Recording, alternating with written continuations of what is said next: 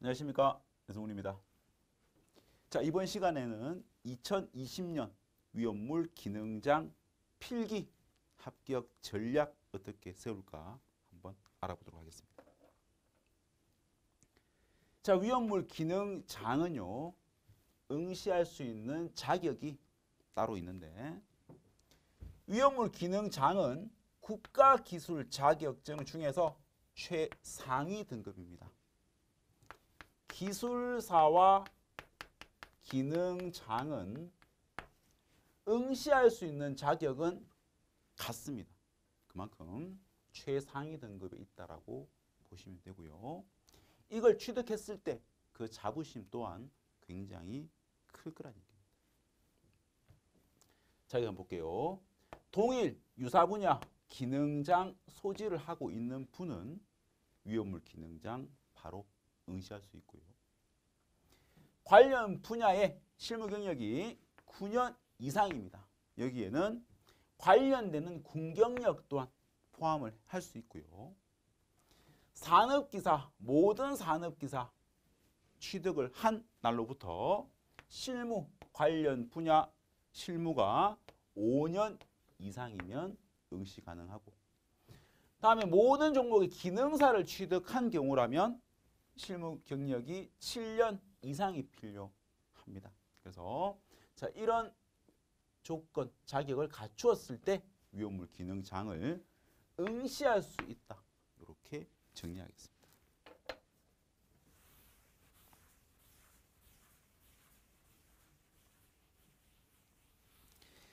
자 다음으로 위험물 기능장 필기 응시 인원 한번 보겠습니다. 자 14년부터 15, 16, 17, 18, 19년까지 봤을 때 지속적으로는 계속 증가하고 있는 상태라고 보시면 됩니다. 자, 특히 14년 대비해서는 약두배 정도 더 증가한 걸로 보여지고요. 뭐약두 배라고 말씀드릴 수 있겠죠. 그래서 아마 앞으로도 20년에도 19년보다 훨씬 더 많은 인원이 응시를 할 수밖에 없을 겁니다. 그러면 왜 이렇게 많은 인원들이 응시를 할까를 한번 생각해 보면 혜택이란 제목으로 한번 정해 봤습니다. 자, 위험물 기능 장으로 인한 사업장에서의 지위 상승도 있고요. 또 사업장에 따라 기능 장을 갖고 있으면은 어떤 수당에 대한 부분도 굉장히 크게 지급이 되는 부분도 있으니까 자, 지위 상승이라는 부분과 그리고 위험물 기능 장을 취득하시는 분들 중에서 약 한 90%는 소방시설 관리사 목적으로 이걸 취득하시는 경우가 많은데 소방시설 관리사 이걸 치기 위한 자격도 필요한데 만약에 위험물 기능 장을 취득을 하면 취득함과 동시에 소방시설 관리사를 응시할 수 있는 자격을 바로 준다는 겁니다. 그래서 여기에 굉장히 큰 메리트가 있고요.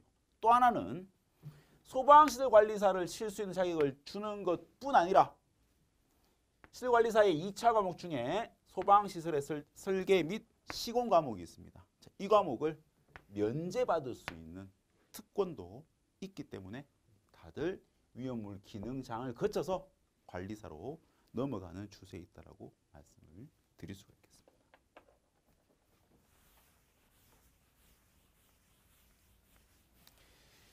자, 그리고 위험물 기능장 필기 시험에 대해서 보면은 자, 이건 시험이 CBT 방식입니다. 그래서 종이가 아니라 컴퓨터 화면으로 시험을 치는 그런 방식인데 1시간 동안 시험을 치게 됩니다. 자, 일반적으로 위험물 기능사 1시간이고요. 위험물 산업기사 1시간 반 이렇습니다. 그런데 위험물 기능장이 1시간밖에 안 된다는 얘기입니다. 그래서 위험물 기능장 필기는 공부해 보시면 아시겠지만 합격할 수 있는 조건은 충분히 공부를 좀 하면 충분히 됩니다. 그런데 시험을 치러 가서 제일 큰 문제가 뭐냐 하면 시간이 모자랍니다. 60문제지만 기능사나 산업기사와의 어떤 차원은 좀 다르거든요. 그래서 한 문제를 풀 때 굉장히 많은 시간을 할애해야 되는 문제들도 있기 때문에 한 시간 동안에 60문제를 다 풀려고 하면 시간 안배를 좀 잘 해서 어, 시간이 부족하지 않도록 해주는 것만 해도 굉장히 큰 성과입니다. 그래서 기능장 필기는 이 한 시간이라는 부분이 굉장히 중요해서 자, 이걸 어떻게 할까라는 전략을 좀 잘 세우는 방법이 있는데 어떻게 할까요? 제일 좋은 것 중에 하나는 일단 한 번 읽고 난 뒤에 답이 나오면 그건 풉니다. 근데 한 번 읽었는데 이게 뭐지? 무조건 넘어가세요. 일단 아는 문제부터 쭉 풀어놓고 다시 다 끝낸 상태에서 모르는 문제를 이제 풀기 시작하는 방법을 활용하시면 시간 부족에 대한 부분도 조금은 메꿀 수가 있는 상태가 될 겁니다. 총 60문제입니다. 자, 구성을 보면 일반화학과 유체역학이 있는데 자, 일반화학은 위험물 산업 기사는 한 과목으로 과목으로 존재하죠. 하지만 위험물 기능장은 전체 중에 약 9% 정도입니다. 9%니까 크게 의미가 없다라 보여집니다. 그렇지만 실기 때 계산 문제의 대부분이 일반 화학에 대한 기초 화학에 대한 이 화학 부분이 들어가니까 얘는 일단은 챙기는 걸로 하고요. 유체역학 몇 프로입니까? 1.4%입니다. 얘는 그냥 필요 없다고 봐도 되겠습니다. 그냥 넘기세요. 위험물 성질 취급이 31%입니다. 그리고 위험물 안전관리법인데 이 법과 함께 시설 기준이라는 부분은 우리 별표라고 하는 법의 별표라고 하는 부분인데 이 기준과 소화 설비라는 부분들이 위험물 안전 관리에 관한 세부 기준 여기에서 출제가 되니까 좀 많이 어렵다는 느낌을 주는 그런 부분들이거든요. 얘가 무려 47%나 나온다는 겁니다. 그리고 필기에서만 출제가 되는 공업 경영이라는 부분 항상 여섯 문제죠. 총 10% 정도로 차지합니다. 자, 기능장 필기는 과락이라는 것이 없기 때문에 하나의 장점이고요. 어려운 문제를 한 시간 내에 풀어야 된다는 게 가장 큰 단점입니다. 그래서 우리는 이 과목들의 구성을 보고 버릴 건 버리고 할 건 하자라는 취지인데 어, 유체역학을 제가 아까 1.4%니까 크게 비중 두지 말자고 한 이유도 실기에 출제될 확률은 거의 없습니다. 한 문제 몇 년 만에 한 문제 나올까 말까 한 정도고요. 일반화가 말씀드렸죠. 필기의 비중은 크게 중요하지 않지만 실기에 연계되기 때문에 중요하다고 말씀드렸고 위험물 성질 취급 이거 실기에 그대로 나옵니다. 안전관리법, 소화방법, 소화설비 전부 다 그대로 나옵니다. 그래서 2번, 3번이 정말 중요하고요. 그리고 법령은 실기에 안 나오니까 필기를 위해서만 준비를 하시면 되는 과목이라고 보면 되겠습니다.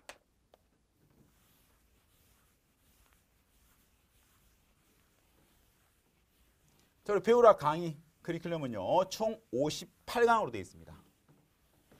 첫 번째 기초학이죠. 기초학은 본문 강의 전에 꼭 미리 들어야 됩니다.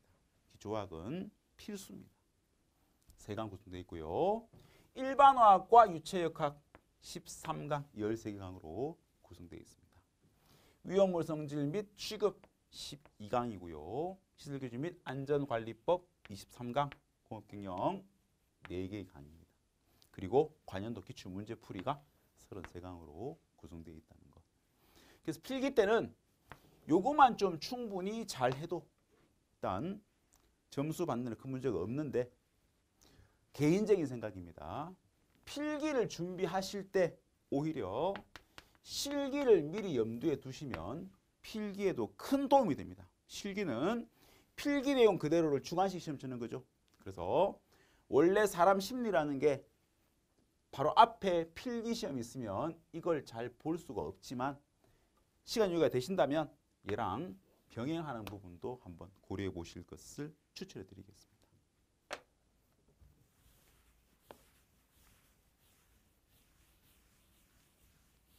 자 이렇게 해서 위험물 기능장 필기 어떻게 하면 합격할 수 있을까 한번 알아본 알아본 내용이고요.